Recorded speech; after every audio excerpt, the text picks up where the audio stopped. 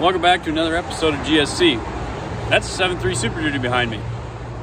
Has a crank no start problem. So we're gonna go do some diagnostics and see what we find. Maybe it'll run, maybe it won't. I guess we're gonna find out. 525,000 miles. Four door, long box, it's a unit. And it has a crank no start. So we're gonna see if we can get in here Helps if your hand get to the hood latch.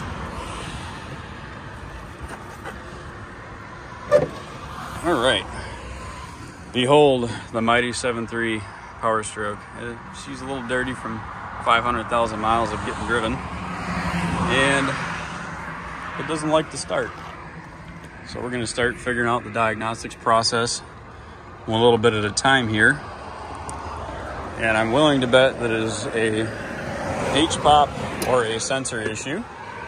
So I'm gonna go and get my scanner plugged in here and see what I can find out with the H-pop cranking pressure.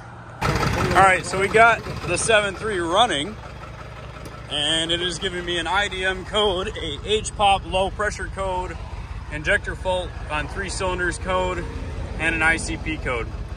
Now the fun part, start figuring out what needs to actually be replaced. All right, so we've got low H-pop pressure at crank. It's below 480 pounds, needs to be over 500 for a Super Duty. And it also looks like we have an IDM fault and three injector faults. So we'd be willing to bet that that H-pop is probably pulling some effect, that IDM having lack of communication for one bank is probably the issue. So now to figure out what's the next step. A little bit of wrenching and researching. Um, the IDM code on that 7.3 could be a bad valve cover harness. It could be a injector driver. So I need a little bit better scan tool, but we now have a place to start. Um, the ICP sensor is bad. I mean, oil's pouring out of the O-ring in the top, so it's that's cooked. Um, but yeah, we are learning 7.3 things.